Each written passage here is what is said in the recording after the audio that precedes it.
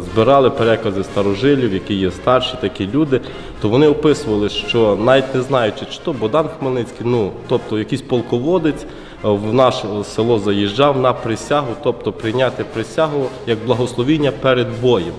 То казали, що застеляли полотна люди на подвір'ї, розстеляли по цілому подвір'ї, що зустрічали і діти з квітами зустрічали іменно цього, каже, полководця з його військом на благословіння.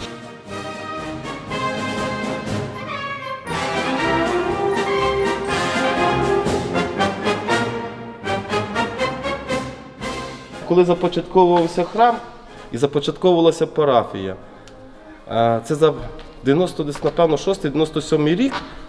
Оце все за просьбою священника просто взяли, винесли на. Ну, ікон не було. Ну весь оцей, оця дивіться, яка арка. Оце вся вона була закладена цими колонами, це все.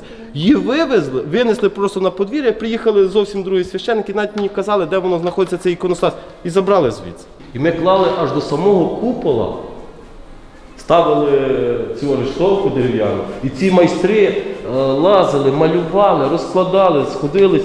Ще дивіться, ще ноги Спасителя.